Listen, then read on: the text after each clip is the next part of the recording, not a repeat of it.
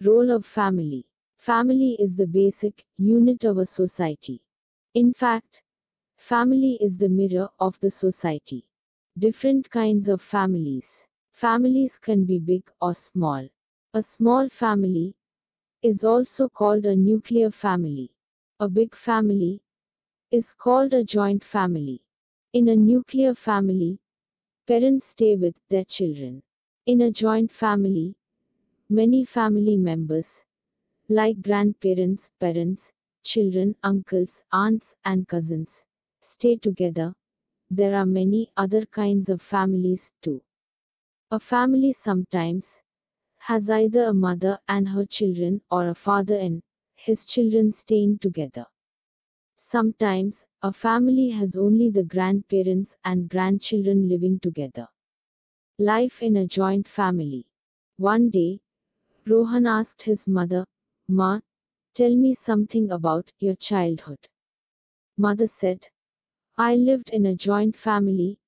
It consisted of my father, mother, grandparents, uncle, auntie, and their two children.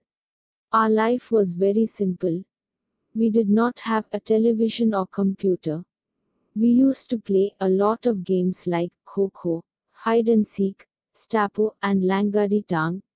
Living in the joint family was an experience in itself. We used to support each other in times of need. Life in a nuclear family. Nowadays, joint family system is breaking up. There are more and more nuclear families. Rohan lives with his father and mother. He lives in a nuclear family.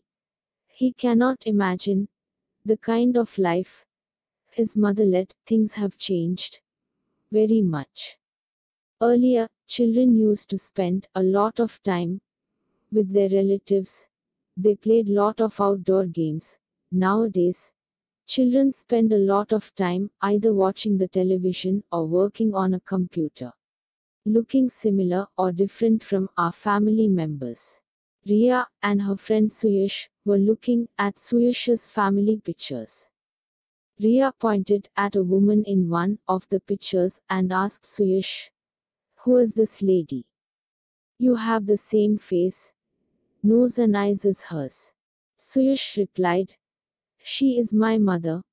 Many people told I look like my mother. Family members often look like each other.